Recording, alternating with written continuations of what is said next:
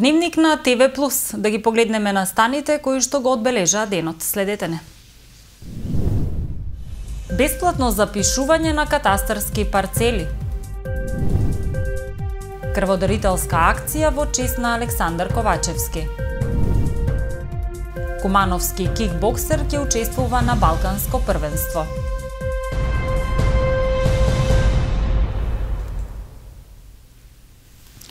Во 29 нови катастарски општини во руралните средини, Оделението за катастар годинава ќе врши бесплатно запишување на собственички права на недвижности.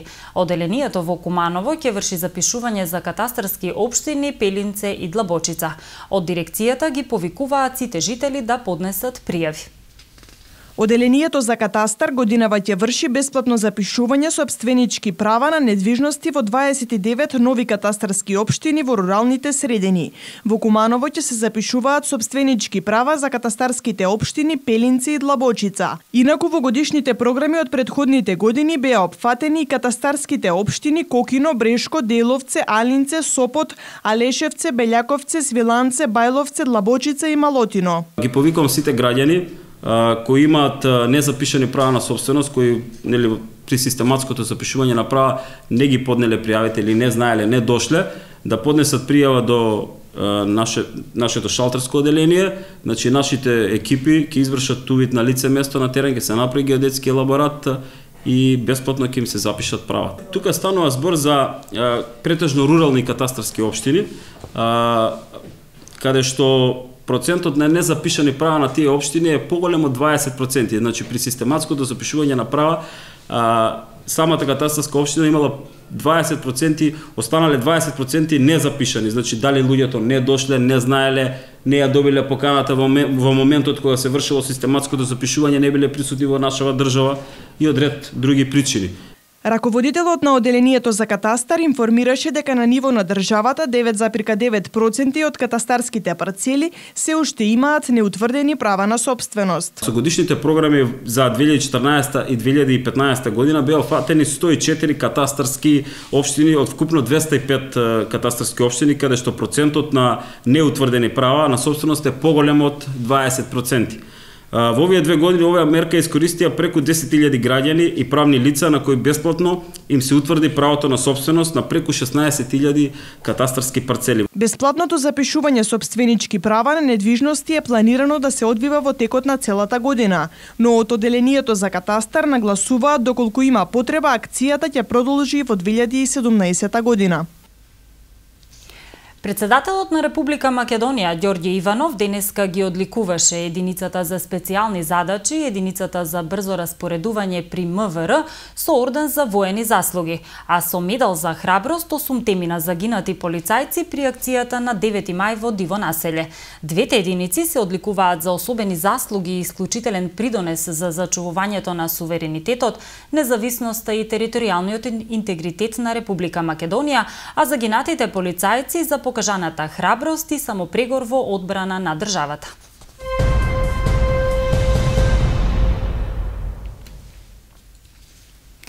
По кратката пауза за време на великденските празници продолжија протестите против одлуката за аболиција на политичари од председателот Ѓорѓе Иванов. Воедно се протестираше и против одредувањето на датумот за изборите 5 јуни. Политичарите кои беа присутни на протестот истакнаа дека протестите можат да прекинат само ако се исполнат барањата од Пржинскиот договор и ако се повлече одлуката за аболиција од страна на председателот Ѓорѓе Иванов. По кратка пауза за великденските и првомајските празници продолжија протестите против аболицијата на политичарите од страна на председателот Ѓорге Иванов. Присутните први се собраа пред основниот суд Куманово каде што ги изрикуваа познатите слогани на движењето Протестирам и со фрлање на боја символично го одбележаа своето незадоволство со кое се представува шарената револуција низ повеќето градови во Македонија. Кумановци избегнуваа давање на изјави пред камера.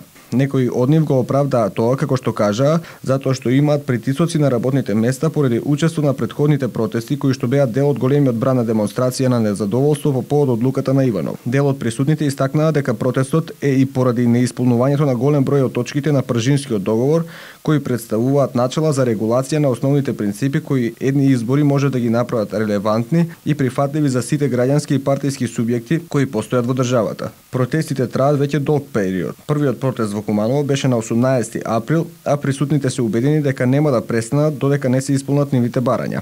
За кога ќе продолжат протестите?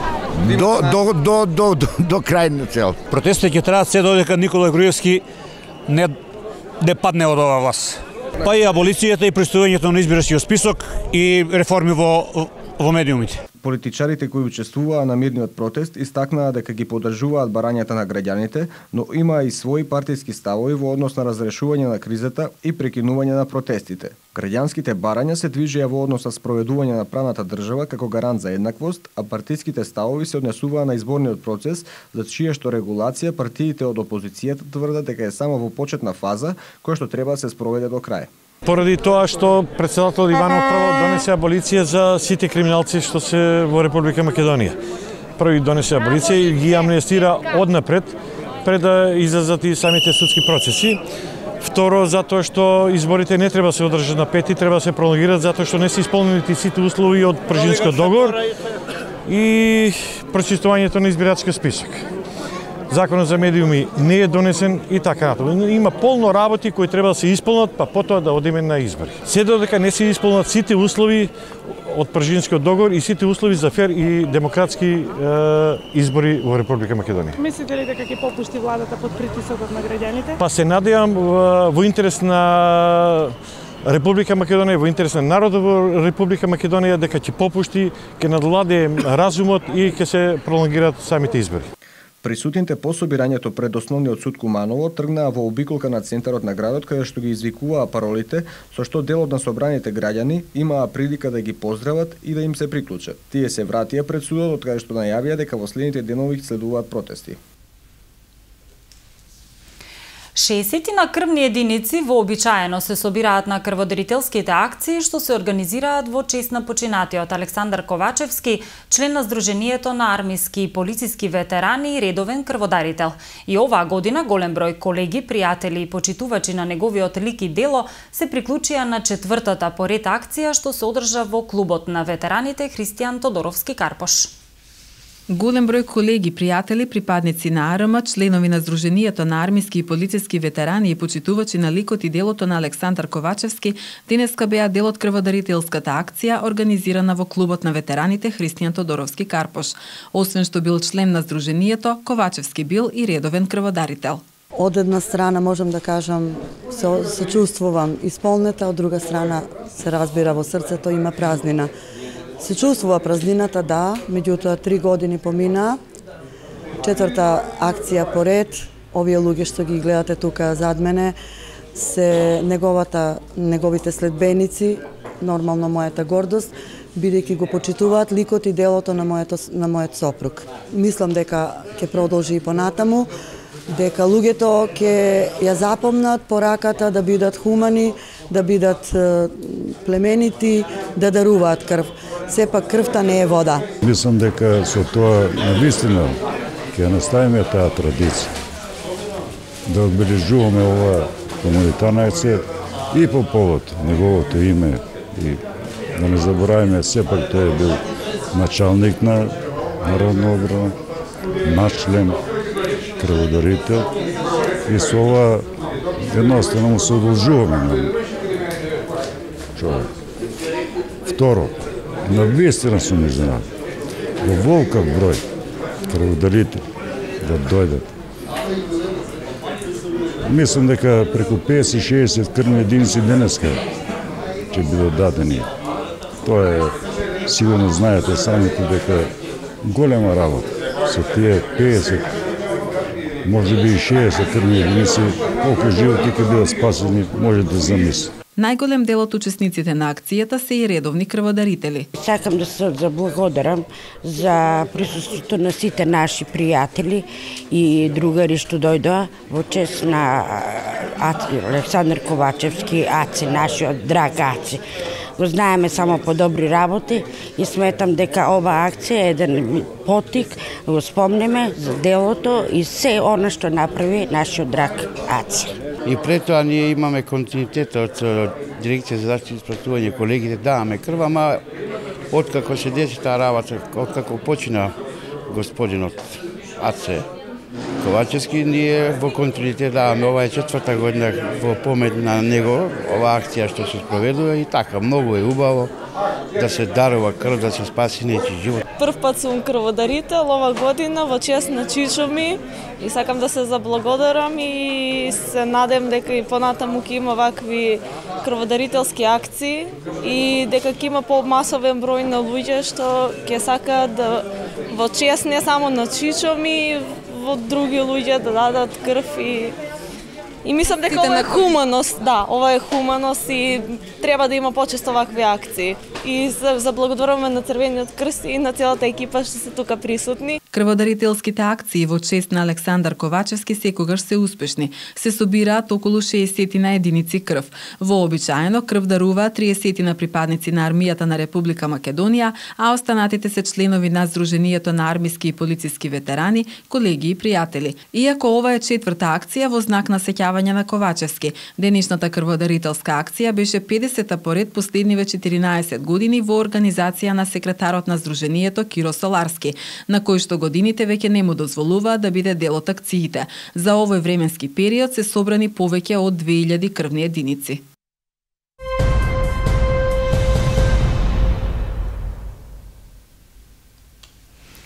16 члена делегација од гимназијата Гоце Делчев во сабота ќе замине во посета на збратименото училиште во Санкт Петербург, Русија. Средношколците заедно со професорите ќе имаат можност една недела да следат часови во гимназија 13, да присуствуваат на семинари и конференции и да се запознаат со повеќе знаменитости во Русија. Ученици од гимназијата Гоце Делче во сабота ќе заминат на еднонеделна посета во збратименото училиште Гимназија 13 во Санкт Петербург, Русија. 16 члената делегација ќе присуствува на часови и ќе посети повеќе знаменитости во Русија. Целта на посетата е да се популаризира рускиот јазик. 16 члена делегација заминува, од кои 10 се ученика, 5 професори и директорот на училиштето од кои имаме и представник од Совет на Обштина Куманово. Секој се наоѓа теми за разговор, ние веќе сме зближени, како семејство сме, во главном тоа се разговори околу подобрување на образовниот систем во двете земји и популаризација на рускиот јазик во Македонија. Делегацијата ќе учествува и на меѓународната конференција на тема диалог на два јазици култури како еден од правците на социјалното проектирање во образовната установа. Планирани се и други семинари и средби со повеќе пред представници од образовните институции на Санкт Петербург. А за жал не сите што ќе заминат во Санкт Петербург го изучуваат рускиот јазик, половина од нив го изучуваат, половина не, меѓутоа радува фактот дека сите има желба да го говорат јазикот. Соработката помеѓу Кумановската гимназија и училиштето од Санкт Петербург започна во 2009 година. Според податоците на рускиот јазик, кој има богата културна и научна традиција, зборуваат повеќе од 400 милиони луѓе во светот. Тој има официјален статус во 6 држави и 19 меѓународни организации, а е еден од двата официјални јазици на меѓународната вселенска станица. На рускиот јазик е напишана најголемата светска уметничка и стручна литература и е на четврто место на нај најпреведуваните јазици во светот. Во 2013 година се најде на второто место на најпопуларните интернет јазици. Предметот работа со компјутер и основи на програмирањето, кој минатата година стана задолжителен во трето оделение, од учебната 2016-17 година ќе биде задолжителен и во четврто оделение со два часа неделно. Целта е да се развиваат информациско-комуникацијските технологии и употребата на компјутерските вештини кај децата од нивната најрана возраст. Програмирањето е приспособено на возраста на учениците, пристапот е низ игра и развој на креативноста да им се возможат основни познавања за оваа област, која ја зголемува логиката и когнитивните способности и ќе им користи и за други предмети во повисоките оделенија. Во првата година од спроведувањето на проектот биле обучени и ангажирани 1500 наставници, посочуваат од Министерството за образование и наука.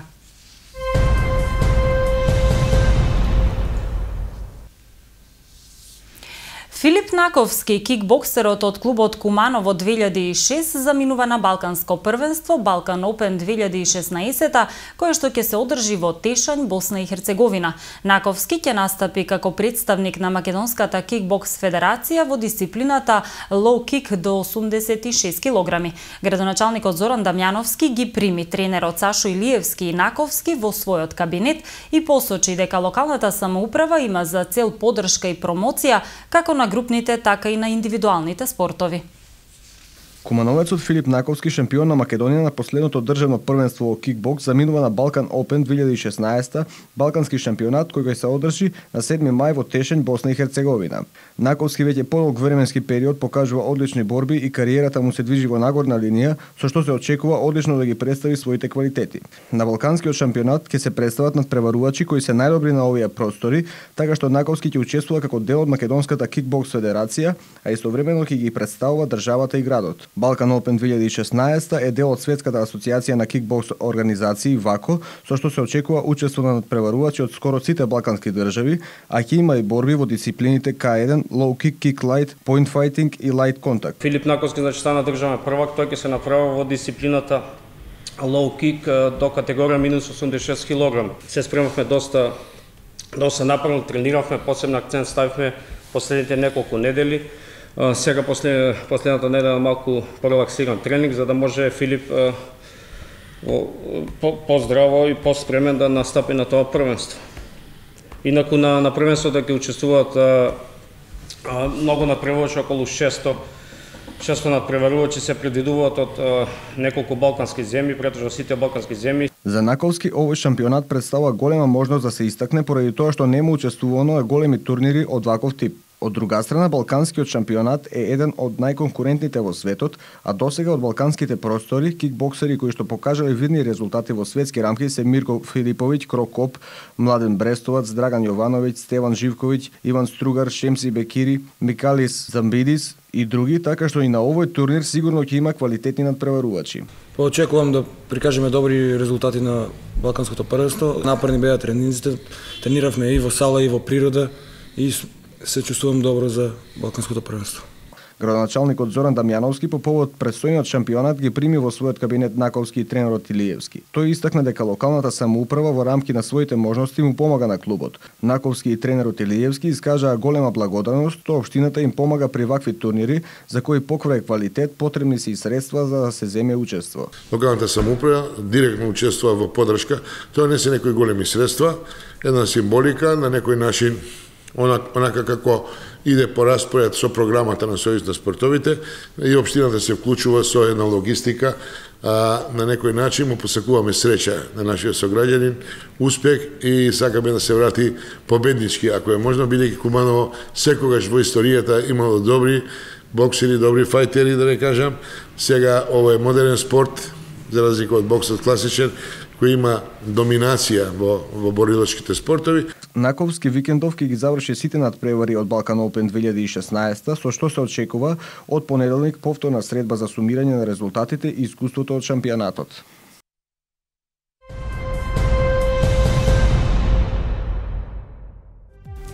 Времето денеска во Куманово беше облачно, а дуваше умерен северозападен ветер.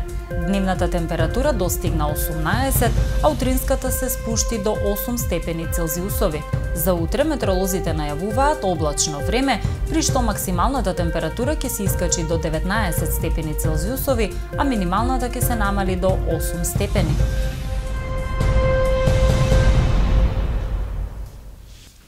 Тука е крајот на дневникот. Ви благодарам за вниманието и довербата. Имајте пријатна вечер.